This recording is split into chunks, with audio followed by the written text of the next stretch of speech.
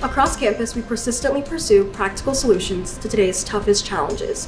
We take small steps every day so we can build a better world together. Small steps prepare us for the challenges and opportunities that lie ahead. Small steps are the efforts Boilermakers take in and out of the classroom.